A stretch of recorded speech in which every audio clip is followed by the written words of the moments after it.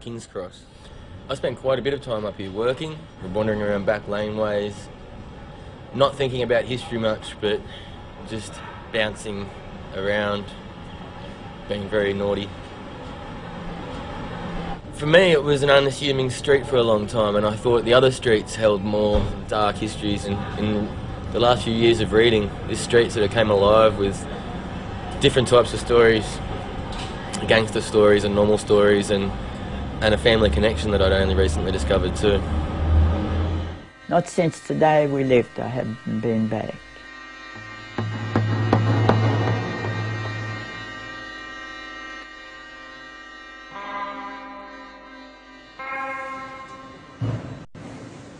Kellett Street, King's Cross. For most young Sydney Sydneysiders, is a place of late night cafes and nightclubs with a few quaint old businesses in between. But for me, it's a place where history happened. Right here's the Mansions Hotel. That was originally Kellett House.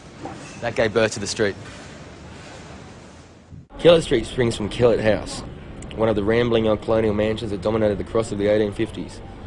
By the late 19th century, financial depression had hit Australia, sending the rural poor back into the cities looking for work. By the 1920s, it was not uncommon for several families to share one terrace or for one family to own several. Meanwhile, Australia's 20th century gangsters had arrived. Imagine, two vicious gangs ruled by two even more ruthless women. Kate Leigh and Tilly Devine. Their gangs came to a head here in 1929, so I've asked uh, Larry Ryder, writer of Razor, to tell us a bit more about it. Why do, why do you think they called them razor gangs for? Well, they called them razor gangs because um, they brought in a law in the early 1920s that outlawed guns. And so they had to hit each other with something.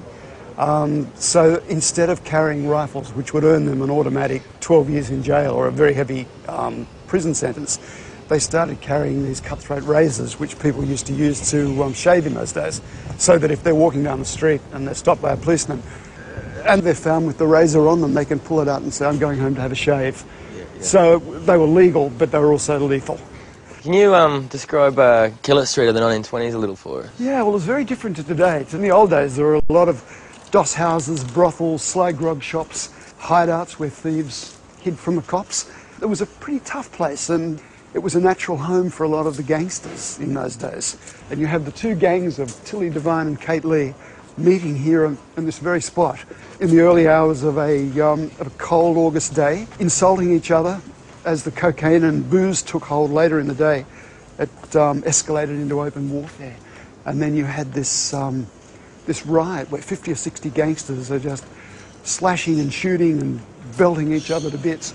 And the riot only stopped because the combatants were too sick and sorry to continue The police came and arrested everybody. No one, no one else dobbed on anybody else, which was the, the, um, the criminal code of those days. But uh, St Vincent's Hospital did a roaring trade that night. Incidentally, my great auntie Ruth lived at number three during that very time. We managed to meet Mark, who lives at number three now, and he was kind enough to let us bring Ruthie back for the first time in 78 odd years. Looks smaller. I've got one memory of the, the inside of the house. As you went through the front door, there was uh, doors on the left here, and then you walked down the hall and then up the stairs. And we used to go out there and cook our food. On the top of the stairs? Yeah, just the top of the stairs. There's no kitchen. Wow. This is the the scene of um, the big Razor Gang riot that went on for a few hours that yeah, night. Yeah, yeah, you could hear them screaming yeah. and going on. Yeah. And uh, I used to get in the bed and pull the clothes over my head. I was frightened.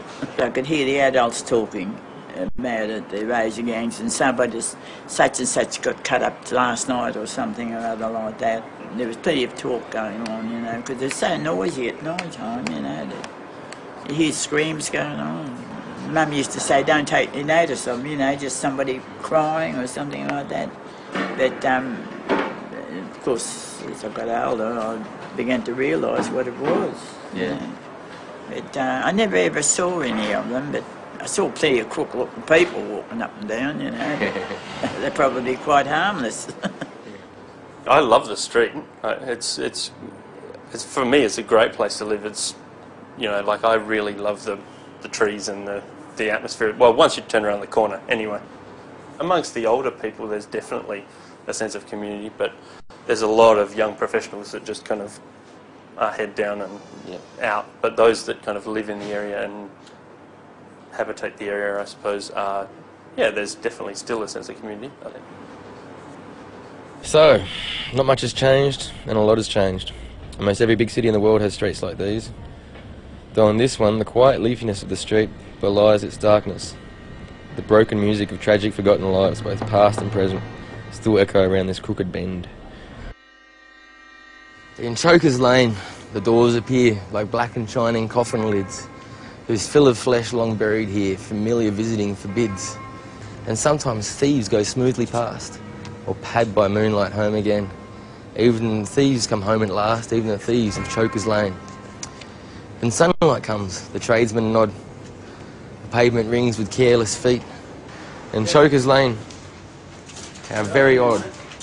It's just an ordinary street.